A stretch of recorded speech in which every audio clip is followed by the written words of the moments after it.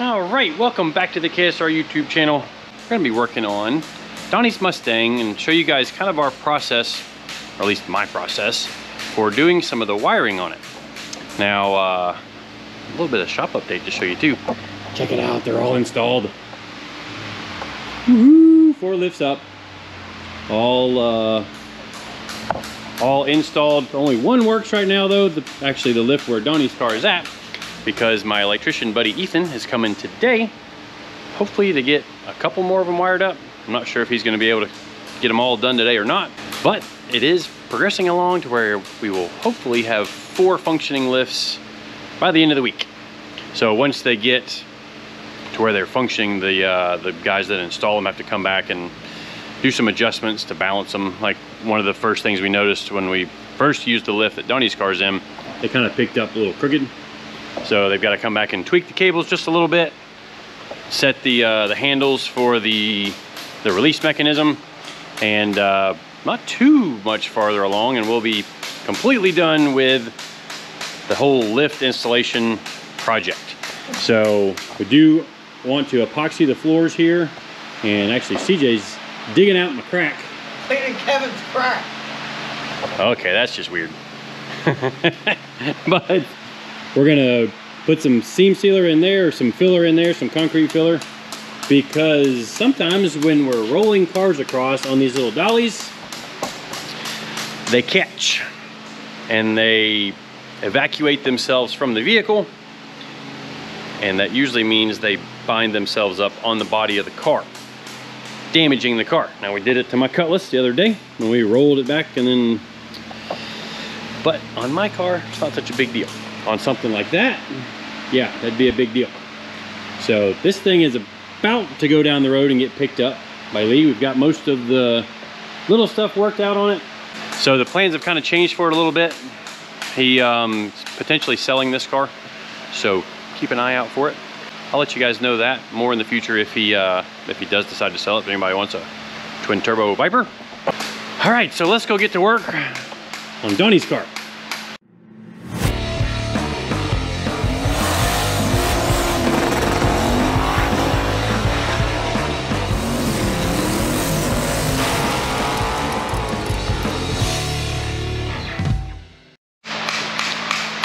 right, so Donnie's Mustang. We've got wires everywhere.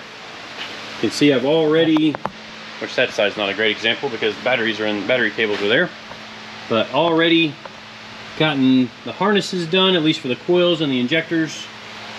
And there's gonna be a quick disconnect firewall connector over there. Hold on a second, let's see if this helps. Oh, there we go. We've got some lights back here that uh, we rarely ever use, but when we do use them, it helps. At least doing underhood stuff. So quick disconnect firewall connector here. And then this is all coil power. There's also a plug for the injector down here that you can kind of see. And the reason there's a connector there is so that the intake manifold can be taken off with a quick quick disconnect with that connector there and then all the electrical stuff instead of having to take all these individually loose and get all that out of the way.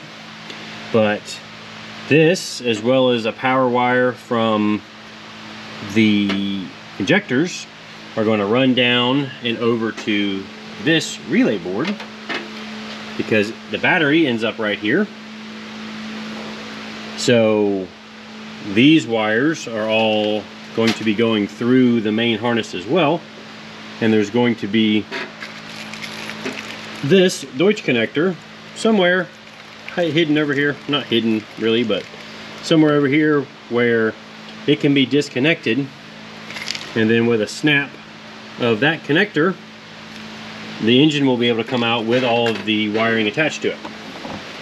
So part of the planning for all of that is, I mean, like I've done here, you can see I've got that bundle of wires laying out. I'm about to run the wire over from the fuel pressure regulator, uh, start building the wires from the throttle body. And, you know, some people build their harnesses on a bench and measure it out, and I have done that before, and it, it does work. but I feel like when I do them on car, I can end up with, you know, a harness that's really like it, it just fits and flows a little nicer when I'm actually doing it on the vehicle. Might take a little bit longer to do it that way, but it's kind of how I like, I'd rather it look really nice at the end. Everything flow and do what it's supposed to do. But we are very near getting this thing ready to fire up. Like it's pretty doggone close. We've got our radiator hoses done. Obviously got to do something with this wiring here, which I'm not entirely sure what that is. That's That wiring came with the car and it plugs into this connector here that has to do with the headlights. So, yeah, lots, lots and lots of work going on. And the ECU, like I mentioned in our last video, the shop video, ECU is actually mounted right there. So the harnesses are all going to come down and run down the transmission tunnel underneath the center console. The transmission will have a quick connector on the bottom of it, you know, that snaps loose so you can just drop the transmission out. These, this is a box that communicates with the dash. This interprets the Holley CAN signal and then dumps it into the dash, as well as some of the other stuff that's got to go in there. We also have to mount our EGT connector or our EGT information box, I guess you could say. Probably going to put it somewhere in here so then we can route the EGTs. Let's see if I can roll over here. So you can see the EGT plate right there. So we've got to still shorten each of the EGTs to go from the header down to or over to the this firewall plate here. But uh, yeah, that's uh, that's our project for the day. Will is back in the back working on a another bulkhead connector for the trailer wiring.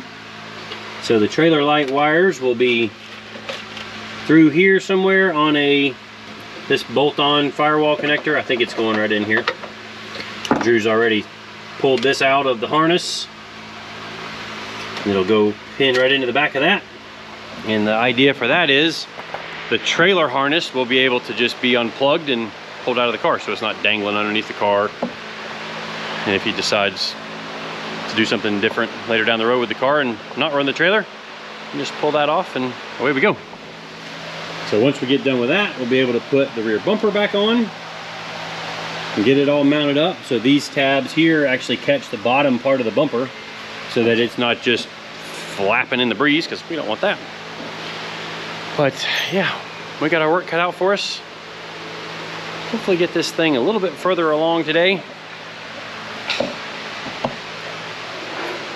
And get some of this wiring wrapped up. So I'll do a voiceover of the time lapse and let you guys know which part I'm actually working on and then what I'm doing with uh, all the different wiring stuff.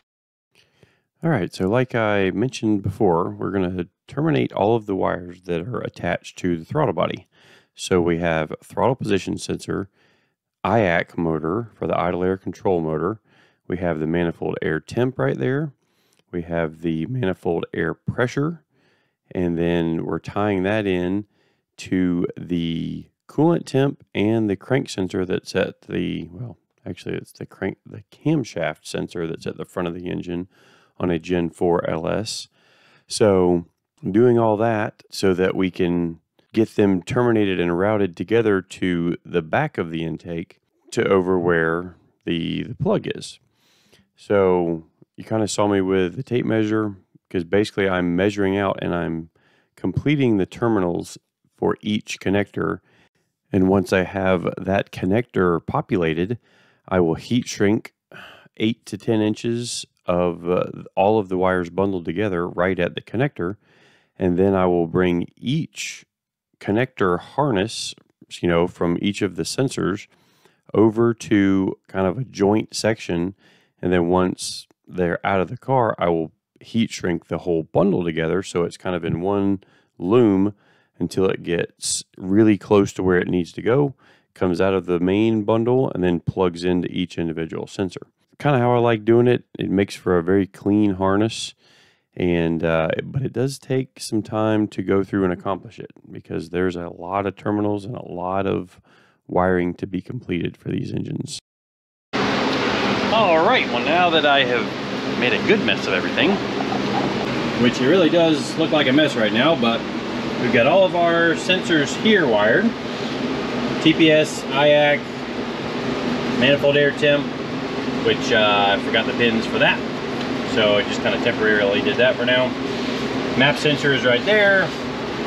Obviously the cam sensor is down behind the water pump and the coolant temp runs around under that, goes there. So the reason these are just laid out here right now is right now the cam sensor is going all the way back under the intake, around and over to where our plug is going to be. And what I'm going to do now is pull everything out and I know the length of the cam sensor wire is long enough so then I can finish heat shrinking and looming all of the bundle of wires. Instead of threading them through the intake I'll get them all wrapped into one single bundle and they'll go around.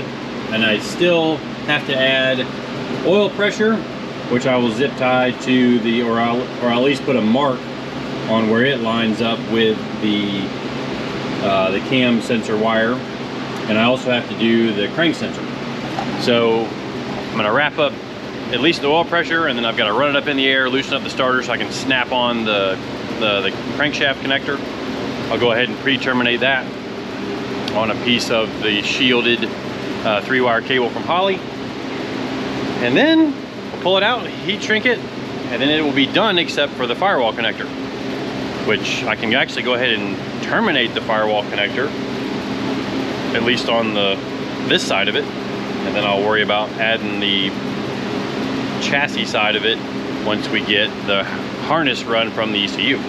So I'm gonna get back to work, see what all I can knock out before the end of the day, and then uh, I'm gonna go home. All right, so I've run the car up in the air to plug on the crankshaft sensor, which for this particular car, and actually all LS engines, you really need to take the starter loose. Well, there's kind of a header in the way there, so that meant that I had to kind of loosen the header just a little bit so that it had a little bit of wiggle room so that I could get onto the starter bolts and get the starter loosened up to get it out of the way, to get my arms up in there to snap the connector on, all to just get the length right for where the crankshaft sensor is going to connect to the rest of the bundle. And a lot of times, what I do is I just put a Sharpie mark um, where the wires are going to come together and where I want to heat shrink them, kind of like, you know, where I step it up and I bundle them all together. I just put a Sharpie mark on it and then I come back and align those Sharpie marks while I'm on the bench now with it. And I can then kind of bring the harness all together outside of the car. Like I said earlier, some people do this kind of pre planning on a bench.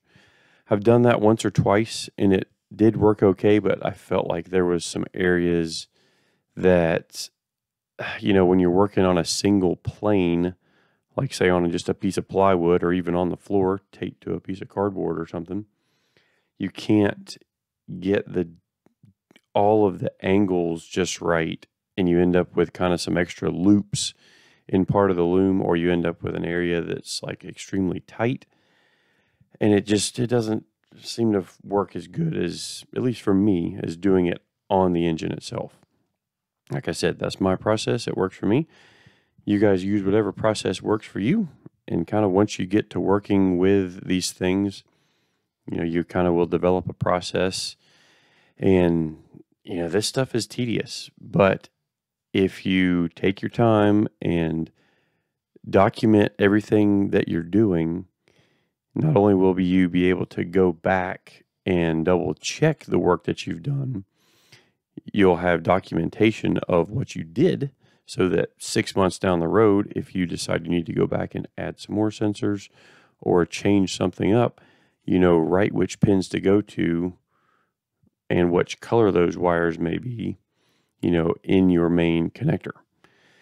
And I mentioned before that there was a lot of connectors and connections to do. And I, I haven't totaled up an exact number, but it's somewhere between 250 and 300 individual connections that have to be made to complete an engine harness. So between the coils and the injectors, there's six connections per cylinder. The firewall connector was 47 pins, so that is 47 times 2. And as you can see, it gets busy in a hurry. All right, well, we're back at it the next morning. Not gonna lie, I made a mistake last night. Made me mad, so I went home. It was already after hours and uh, kind of, I guess I was getting tired from, you know, a long day at it. So I decided to go home and start over again, and make sure I was fresh this morning. So I guess one of the biggest tips I could say for you guys, if you're doing your own harness in any fashion, but especially when you're doing something through a firewall connector, like I've got every single pin written down, what its job is, and I'm also writing what the color of the wire, and then I do a check mark once it's located in the connector itself. So you can see we've started putting some pins in the connector itself, and I've got all these left to do, and then this harness will be done. And that's pretty exciting. But then I have to do the other side of it to connect from the firewall to the ECU. You know, so that's how these things go. Just keep chipping away at it until it's done. So I got a pretty good bit of work to do this morning to try and get this thing wrapped up completely. Then I'll show you guys the final harness layout on the engine, and that'll probably wrap up this video.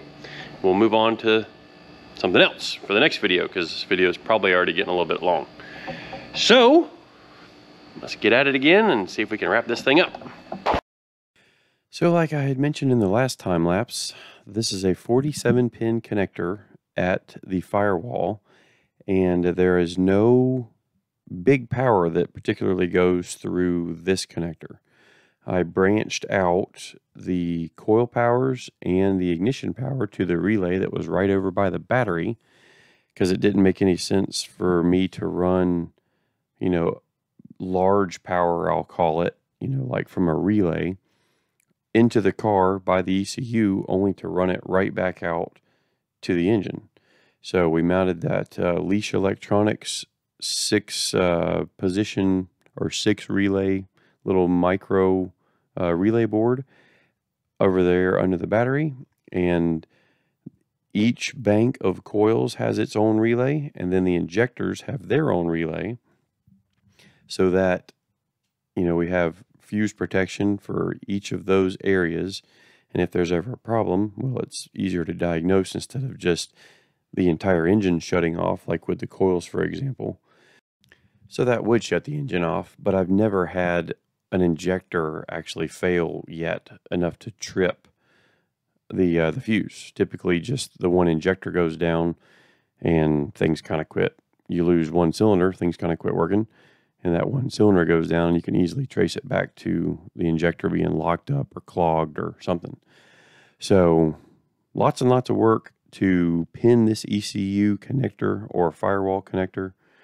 And you'll see in a second that I've got my reader glasses on again because 47 pins inside of about an inch and a quarter inch diameter circle. The numbering beside each pin hole is very small, and I would like to make sure that I am placing the correct pin in the correct hole so that when we do the other side, everything lines up and the car cranks up just like there was no problem or no break in the connection at all. So, you know, this is definitely a tedious process, but I don't feel like it's a very hard process to do. It just does take time and you have to focus on, you know, getting each of the wires in their right location. And that's basically the hardest part of it. And, you know, I get most of my wiring supplies, like all these connectors, came from WireCare. Same with uh, the crimpers and the the Deutsch pin or the Deutsch connectors that I use. Get all those from WireCare. They've got a really good assortment of different connectors.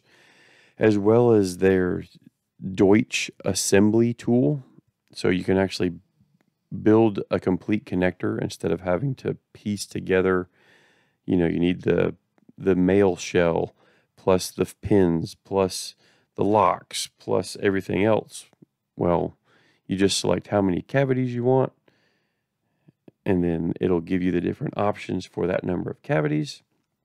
And it's a really nice way to work it out. I think it's brilliant and it makes it a lot easier for when you're trying to assemble or put together your connector for your specific needs. So anyway, you can see now I'm actually working on the injector harness, getting those brought out of the harness because they are separate from the main harness that connects to the engine. And they're going to get branched out so that you can still remove the intake from the car without having to unplug each individual injector. So basically, to take the intake off, you will disconnect the sensors up by the throttle body and then unplug the injector connector and then the whole thing pops off. So that's kind of wrapping this up. You can see I'm kind of playing with the final heat shrink uh, boot that's going to turn the thing 90 degrees at the firewall. And then we'll show you guys what it looks like here in just a second. All right, well, and this is what we've got to show for at least a partial day's work because I had to go to my oldest daughter's graduation from uh, fifth grade today. She's actually moving up to school, so congrats to her, but kind of cut into my day of wrapping this job up and I really want to get this video out. It's like I said earlier, it's probably already a little long, but this is what it looks like before heat shrinking. So I've got kind of a joint here that's got all of the five volts. So there's a single five volt that comes out of here and loops over into this. And then all of the 5 volt sensor uh, supply is into this one connector here and it's heat shrinked off. Same with uh, the grounds right here. Got them done that way. I could have done, so this is like a logic ground for all the coils, this black with the yellow stripe right there. I could have done those the same way, but didn't. And I know there's tons of different people who do this tons of different ways. This is kind of my way of doing it. It's worked for me you know, it works for you, hopefully you can use it. But uh, yeah, hopefully tomorrow we'll have this thing wrapped up and then I get to start on the chassis side of it as well as the transmission harness, which you can see is gonna go through right there. So we've got ECU mounted over there. Got to connect to that. We also have to connect to the EGT box, which is right there. And you can just see the EGTs hanging right there in the floor but they're gonna plug up to the plates that are down here below the headers. Well, on this side, it's right here. So it's above the header on this side, and then on the other side, it's down a little bit lower because that's where we had to go to clear the AC box. Sometimes working around existing components on cars can really throw you for a loop and give you a challenge. But just make yourself a list and keep checking things off. Like I've got a pretty big list on this thing because a week from now, well, a week from when this is being filmed, we hope to be on the dyno with it. Getting very close. Sometimes it doesn't feel like it, but we're getting very close. But that's gonna wrap up this video. Appreciate everybody watching and subscribing. See you guys next time.